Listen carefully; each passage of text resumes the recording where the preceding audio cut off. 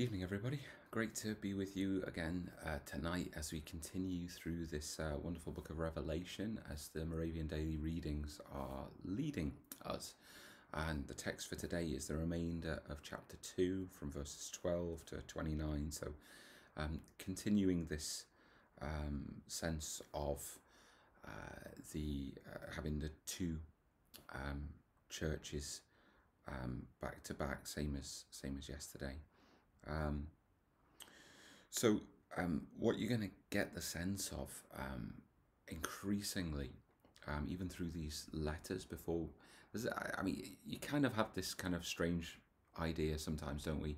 Um, that this is kind of all prologue, as it were, preamble, and that like the real kind of revelation is going to start after these letters, um, but really not so at all. Um, and and what we're gaining actually in these letters, a number of things, um, comfort and correction, as we said previously, but we're also gaining um, a bit of an insight into just how incredibly this book is written. Um, it's densely plotted. It's um, hugely well referenced. Clearly, you know, not only is it inspired by God Himself, but is um, birthed out of the, the authorship of somebody who is immersed in the Old Testament texts and in the personal work of Jesus, the words of Jesus, faithfulness to the love of Christ. Um, it's just pretty stunning. Um, so, uh, you know, time won't permit us to really kind of consider every facet or aspect of, of these little portions, but read it for yourself multiple times. I know, I think yesterday, did I recommend that you get a study Bible? I'm going to recommend it again. Um, I, I, did, I did say that commentaries might prove a little um, prohibitively expensive, but if you did want to get a commentary and, and you'd like to kind of um, really dig into things, can I recommend um, Ian Paul's commentary? It's in the Tyndale um, New Testament uh, commentary series. It's really very good. If you want something that um, it's perhaps it's got loads of information, it's very helpful, but is a little bit more devotional. Um, a, a vicar um, named Simon Ponsonby, think that's right, I think so, um, has written a book called And the Lamb Wins. Um, and it's just so rich. It's so encouraging, uh, but really insightful as well. So, you know, if you are looking to go a bit deeper, um, those are two ways you might want to go. Um, right. Let's look at some of the detail um, before we come back to perhaps the central point. So, again, uh, you know, we've mentioned that some of the churches get correction and um, comfort. Um, and, and that's what we have here um, with Pergamum and Thyatira. Um, Thyatira, um, John recounts these words of the Son of God, and we, we said already every one of these mini letters is um, is coming from Christ Himself, referencing um, things that we've seen in chapter one, that vision of, of Jesus. Um, Thyatira, the word comes, I know your works, your love and faith and service and patient endurance. Your latter works exceed the first. It's pretty fantastic. Pergamum, if we go back, um, you hold fast my name and you did not deny my faith, even in the days of Antipas, my faithful witness, who was killed among you where Satan dwells. Again, really good stuff. So they've got the comfort, the encouragement. Um, there is correction as well. I'll come to that in a moment. Um, what are we seeing here? Um, well, some really wonderful stuff. Um, talking of Antipas there, um, he was killed among you where Satan dwells. Um, Pergamum is, is said to be where Satan's throne is. Pergamum was a major centre of Roman uh, pagan worship. Big Zeus uh, worshipping centre. Um, Augustus the Emperor, the goddess Roma, uh, Asclepios, um, the god of healing, um, is symbolized by serpents. Um, all of this, I think, plays into the idea of it being a place where the throne of uh, of um, of Satan is. Um, and there it is that Antipas is martyred, faithfully um, sticking to the true gospel. And note here, he's described as my faithful witness my faithful witness. That's language that John has previously used um, specifically um, to describe Jesus. Um, chapter 1, verse 5. Um, so that, that perseverance, even to the point of martyrdom, actually identifies him more fully uh, with Christ, um, which is really, really cool. Um, continuing with the idea of um, the, the, encouragement, um, every letter finishes with this to him who overcomes, or to him who keeps faithful to the end, to him who conquers, that kind of stuff. Um, what do we have um, for Pergamum? Hidden manna, uh, this, this, bread of life. Uh, but this white stone, uh, a white stone would be given to someone who was victorious at um, Roman Games, and it would entitle them entry um, to a, an after Games banquet. That's going to come quite interesting, isn't it? When John then starts to unpack this idea of um, the the um, the, uh, the, the feast um, with Jesus um, when he returns and receives his his people to himself. Um, so there's really kind of interesting kind of stuff coming together, and a new name um, written upon it, which is you know how we newly are in Christ Jesus. Um, continuing with the encouragement to Thyatira, there we have um, this sense of being given um, the morning star. Um, and the morning star is, is none other than Christ himself. That, that you know, if, if we conquer and keep his works to the end, then yes, the stuff about authority over the nations and, and ruling and authority, all that kind of stuff. But better yet is to receive the morning star. Now, interestingly, um, to the church in Pergamum, he's uh, we're going to come to the correction in a moment, uh, but he's highlighted the teaching of Balaam, son of Balak. Um, and um, if you were to have a look at that in Numbers 24, you would see that Balaam um, was actually who actually foresaw the morning star um, in in his uh, in in his prophecy. Even though he didn't, even though he wanted to serve the enemies of Israel, um, he was forced to serve God's purposes. And you just feel how John is weaving these things together. He's referenced Balaam to the church in Pergamum, here the morning star to the church in Thyatira. This is just richly um, full of, of scripture and understanding. Now, you know, having said that, let's just um, address uh, the corrective words that are coming to the churches here, uh, because you know it's all well and good to receive encouragement and comfort and think, right, I'm fine, I'm done, I'm dusted. Um, that way is lies complacency, uh, which leads to faithlessness, um, which leads to judgment. Um,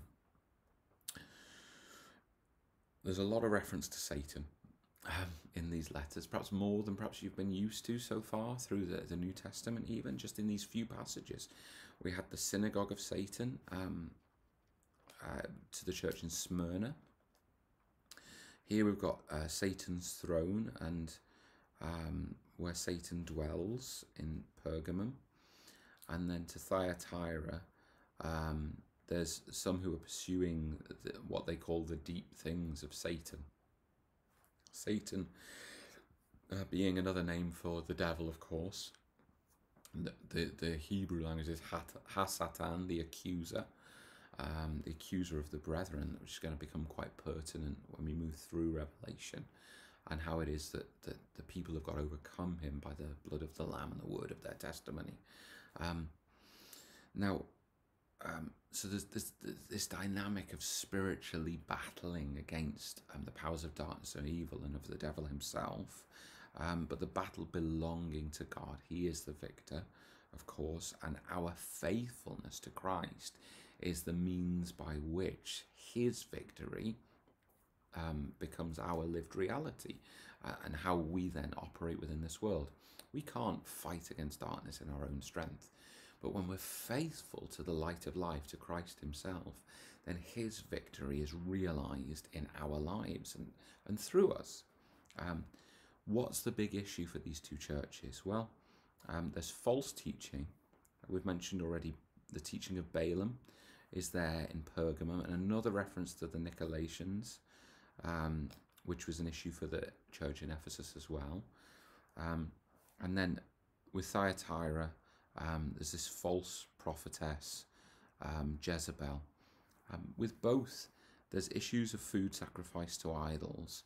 There's also issues, uh, significant issues, it seems, with sexual immorality and the tolerance of these things. Now, just the fact of calling things sexual immorality is unusual within the culture. And we know uh, within uh, the Roman pagan worship in a number of uh, the different cults of the of the gods and goddesses and uh, you know different kinds of worship. There were um, sexual elements. Indeed sex and its use and abuse was central um, to worship within some of these um, temple cultic practices. Um, it wasn't considered immorality. It wasn't considered odd or, or aberrant in any kind of way. Um, really, anything went. So the very fact that there is something called out as immorality is countercultural. But then there's a call yet further, not simply to name it for what it is, but to abstain from it, indeed abhor it, reject it entirely, and cleanse the church from these things. This is massively countercultural.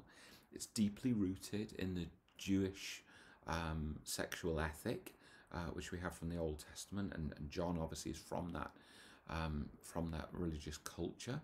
Um, but it's affirmed and indeed extended through the Christians. Um, and this was one of the primary reasons, in fact, um, why they stood out so differently within their culture, um, and then why they receive a persecution. The major issues are that they wouldn't worship the emperor, which was hugely encouraged. Only Jesus was Lord for the Christian, which is a big issue for your average emperor. Um, rejection of the of the other uh, Roman uh, pagan uh, teachings.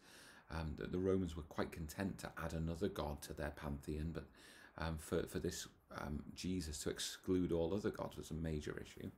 Uh, the sexual ethic was a, a major distinctive um, for the Christians.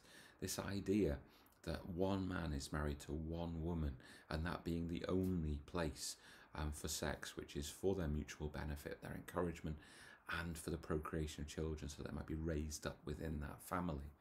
Um, I think it's always been the case throughout Christian history that the Christian sexual ethic has been counter to the culture, um, one way or another, and, and nothing has changed today.